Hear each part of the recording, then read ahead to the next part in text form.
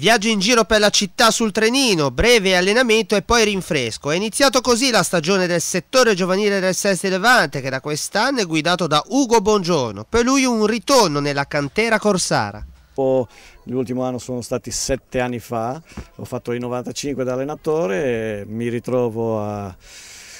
a essere di nuovo nuovamente nella famiglia del Sesti Levante con una responsabilità doppia perché faccio gli juniores nazionali e il responsabile del settore giovanile. Un impegno secondo me molto molto importante, cercherò di svolgerlo nel migliore dei modi, abbiamo già iniziato, oggi è iniziata la, la presentazione del settore giovanile scuola calcio,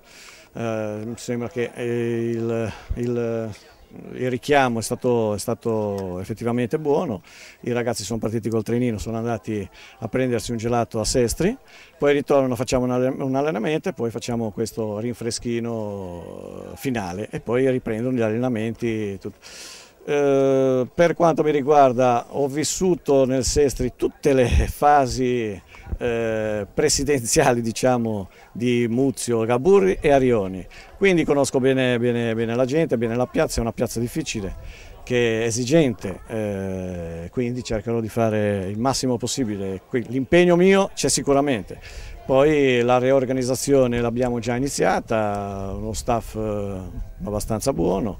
eh, anzi ringrazio, ringrazio, quelli che c'erano prima che hanno lasciato una buona, una, buona, una buona base per cui lavorare.